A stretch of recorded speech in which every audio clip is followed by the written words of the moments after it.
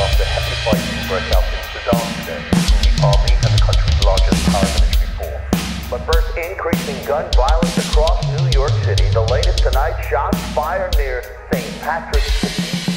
Chicago is no stranger to the sound of gunfire. Last few weekends particularly bloody.